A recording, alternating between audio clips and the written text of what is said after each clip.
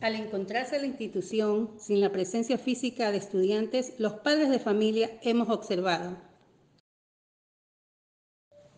que la fachada del plantel está despintada y sus jardines abandonados.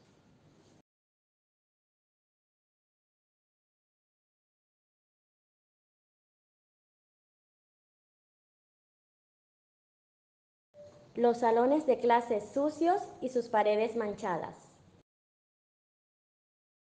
El patio y otras áreas llenas de maleza auditorio, bloque administrativos y altares patrios deteriorados.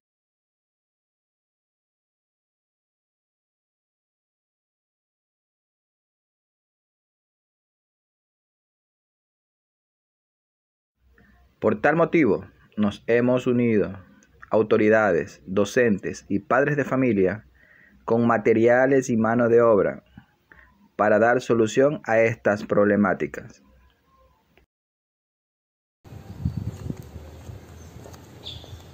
Felicitamos al gobierno escolar, las comisiones institucionales, las diferentes áreas que han colaborado para el embellecimiento de nuestro plantel.